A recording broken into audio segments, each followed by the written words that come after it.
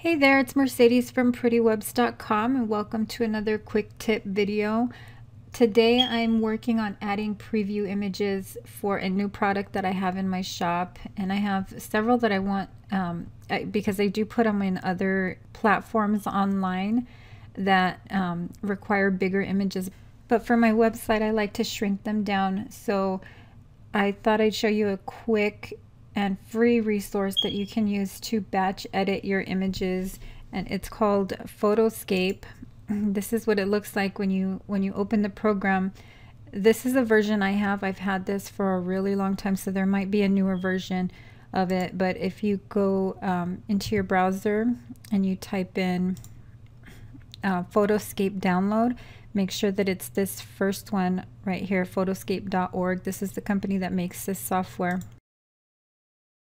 and then you can just come in here and download, you know, watch out, of course, for these ads. Um, just make sure that you're downloading the correct one, which I think this is the newest one. It's called Photoscape X for Windows 10 or Mac users. Um, so download from here, not here. This is an ad, so you might get caught up with that. So just be careful there. Um, anyway, so when you go into Photoscape um, there are a whole bunch of options here. The one that I use is the batch editor. And um, all you'll do is, I'm gonna make this a little bit bigger. Okay, so these are the images right here that I want to resize.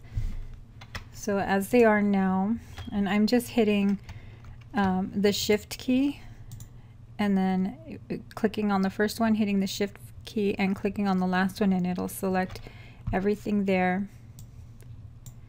And I'm dragging them here um, up here to the top section. So these are all of the pictures that I'm working with right now. I have an original size.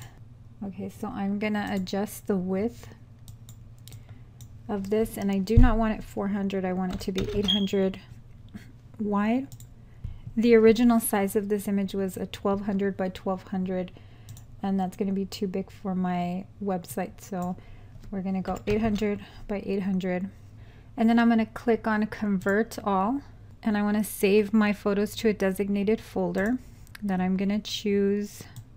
Okay and it's going to go in this folder called previews. Hit OK and I'm going to save it with a new name. And I usually just put the size there in the front. You can add file dates and um, all of that. You can change the quality of the image if you like and then click on save and it just converted all of these images in one. This comes in really handy when you have a lot of product images. Like right now I only have five but uh, sometimes there's 12, 15 product images and even more if I'm doing several projects or several several products at a time. So this is just a quick introduction to Photoscape. It's a free software that you can download from photoscape.org.